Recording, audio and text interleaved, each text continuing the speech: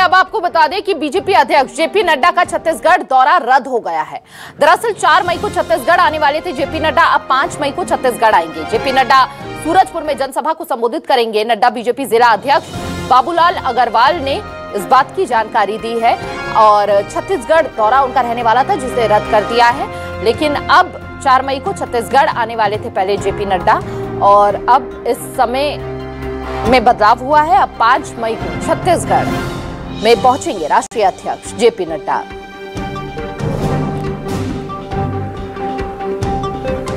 तो छत्तीसगढ़ में पहुंचकर सूरजपुर में जनसभा को संबोधित करेंगे। प्रत्याशियों के लिए वोट की अपील, जनता के बीच करते नज़र आएँगे।